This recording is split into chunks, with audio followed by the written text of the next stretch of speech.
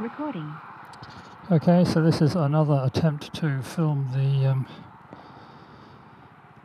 acceleration times on the Honda Vision. I've now got a full tank. We this time we're on a very slight downhill, and uh, okay, oh, no, there's another vehicle coming. I'm Going to wait till it's all clear, and then I'll pin it.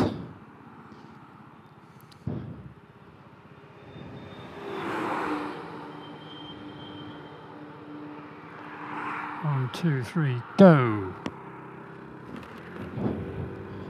And 40 kilometers, 60 kilometers, 80 kilometers. Until top speed is going up to 60 miles an hour. And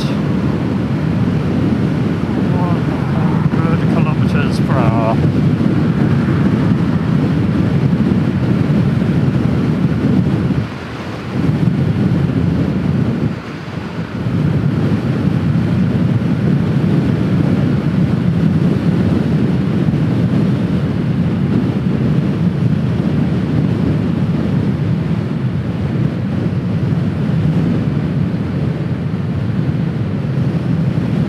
End of video.